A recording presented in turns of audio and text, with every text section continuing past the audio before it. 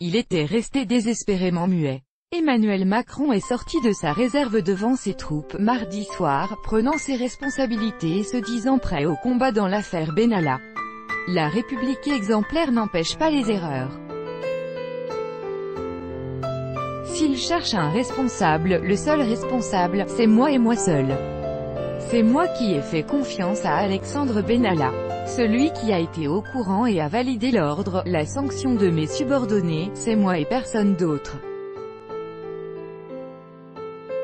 S'ils veulent un responsable, il est devant vous, qu'ils viennent le chercher, a lancé, Bravache, le chef de l'État devant son gouvernement et sa majorité parlementaire quasiment au grand complet, après deux jours d'audition de ses collaborateurs à l'Assemblée.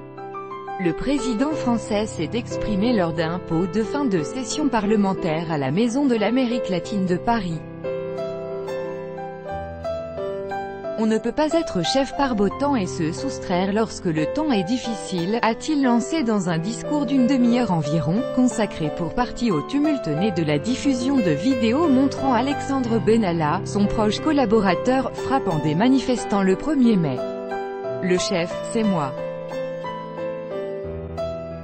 Le responsable, c'est moi, Emmanuel Macron pic.twitter.com slash 5 cvfx6 France Marlene Schiappa, Marlene Schiappa, July 24, 2018 La République des fusibles, ironique, le président avait entamé son intervention en affirmant que Alexandre Benalla n'a jamais détenu les codes nucléaires, Alexandre Benalla n'a jamais occupé un appartement de 300 mètres carrés, Alexandre Benalla n'a jamais eu un salaire de 10 000 euros, Alexandre Benalla n'est pas mon amant. Dénonçant la République des fusibles, la République de la haine, celle où l'on fait trinquer un fonctionnaire ici, un collaborateur là, Emmanuel Macron a aussi soutenu ses équipes à l'Élysée qui ont fait ce qu'elles devaient faire. La simple mise à pied de 15 jours de M. Benalla était proportionnée à ce moment-là et je l'assume, s'est-il défendu. Mais le président a aussi évoqué son sentiment de déception et de trahison après les actes d'Alexandre Benalla, décrits par la Macronie comme une dérive individuelle et non une affaire d'État depuis deux jours.